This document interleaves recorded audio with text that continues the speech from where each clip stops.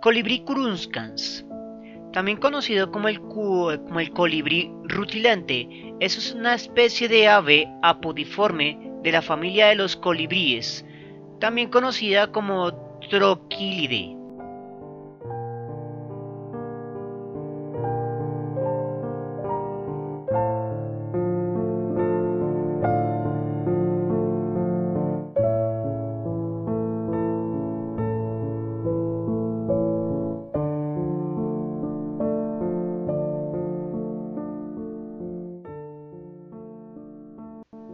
Los apodiformes, que viene del griego sin podos, o sea, sin pies, son un, son un orden de aves modernas o neonatas, caracterizadas por el pequeño tamaño de sus patas, lo que le da el nombre al orden, sin patas. Pero no es que no tengan patas, sino que son pequeñas.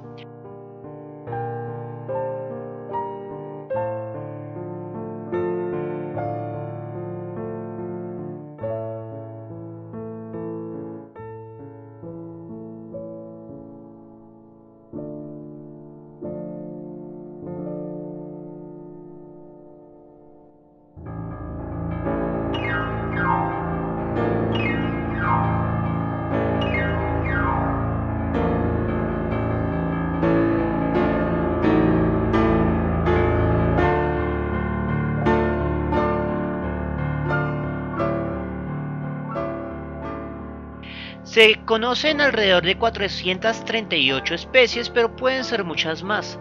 Tradicionalmente el orden contuvo tres familias, los vencejos y salanganas, familia Apodidae, los vencejos arborícolas, familia Hemiprocnidae, y los colibríes o picaflores, los Trochilidae.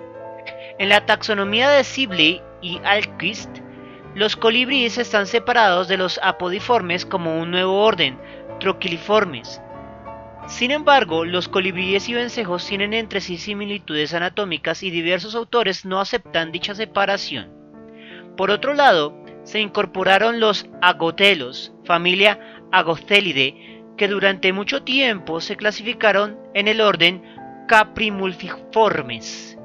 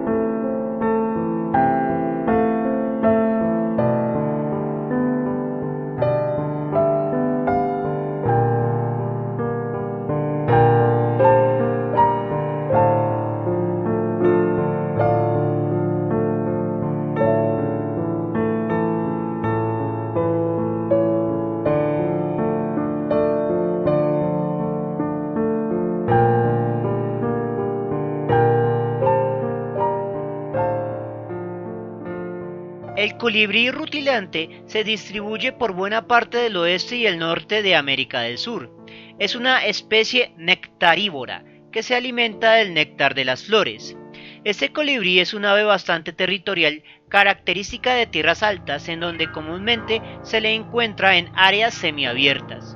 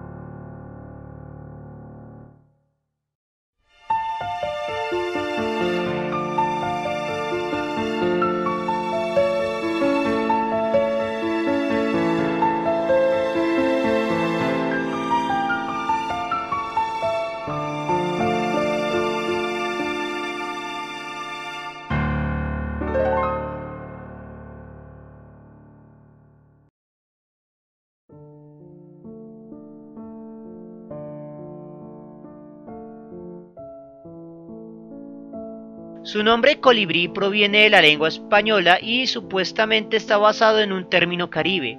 El epíteto curuscans proviene del latín y significa centelleante o brillante. Este es un colibrí de gran tamaño. El macho pesa de 7,7 a 8,5 gramos y la hembra entre 6,7 y 7,5 gramos. Tiene una longitud de 13 centímetros. Su pico es robusto, mide unos 25 milímetros y es casi recto.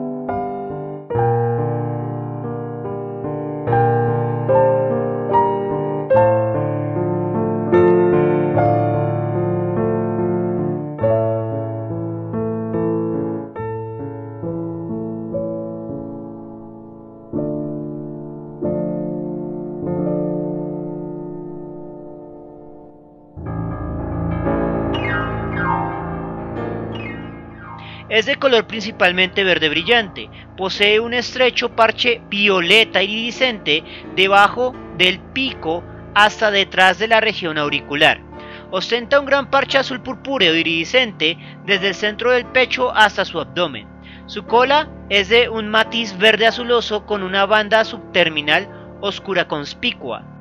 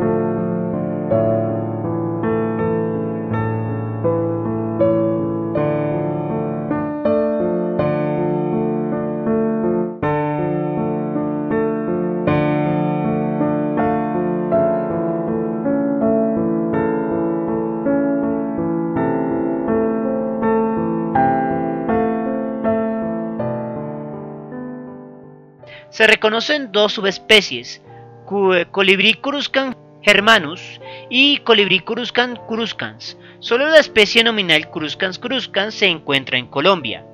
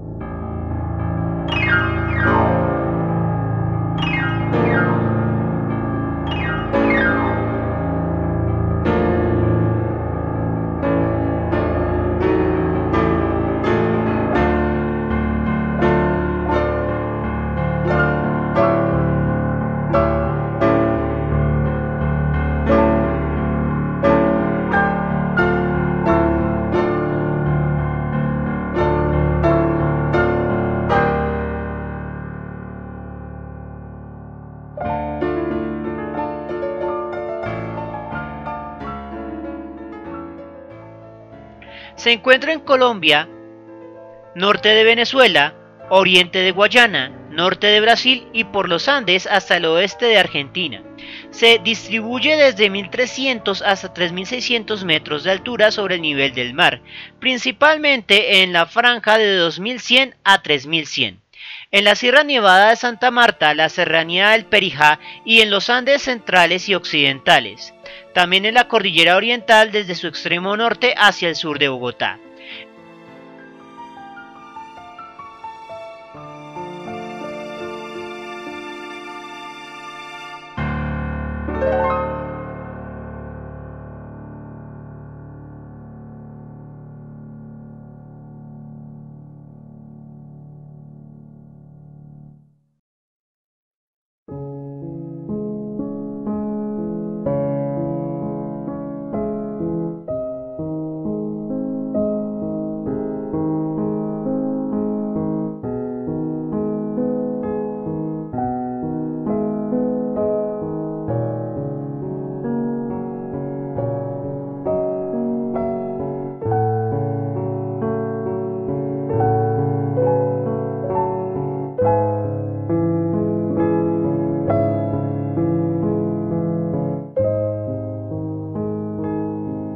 Es común en bordes de monte, en tierras altas, potreros con árboles dispersos, parques y jardines.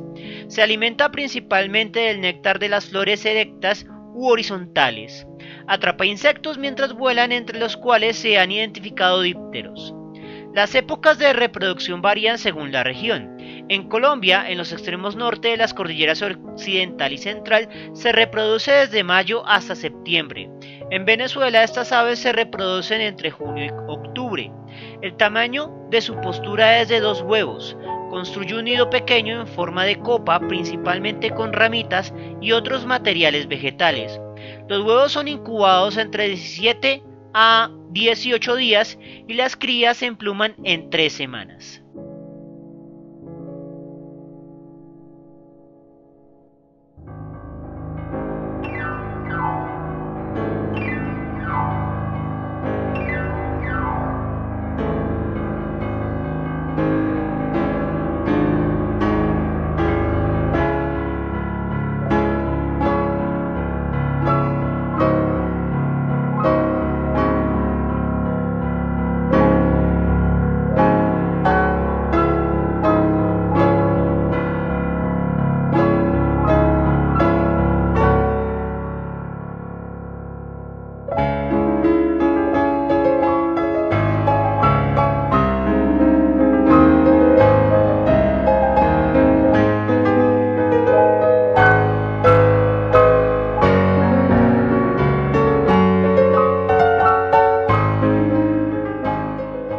El macho ayuda a la construcción del nido y en algunos casos participar de la incubación de los huevos.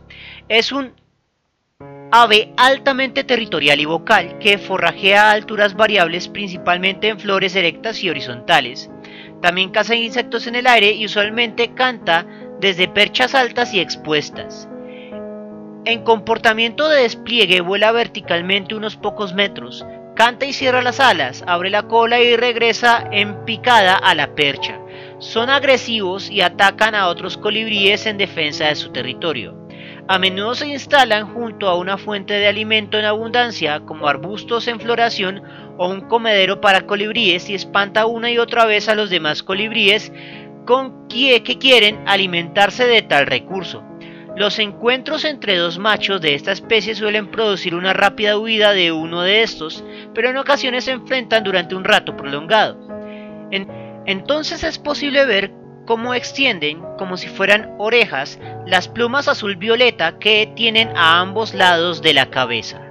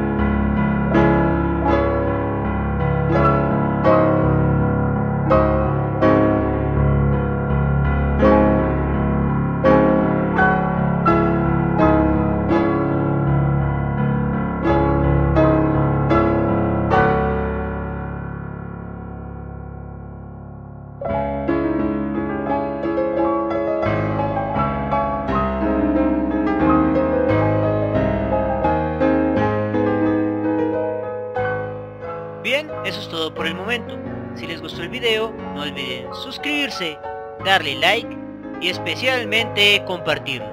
Eso mantiene vivo a este canal y nos vemos en una próxima oportunidad.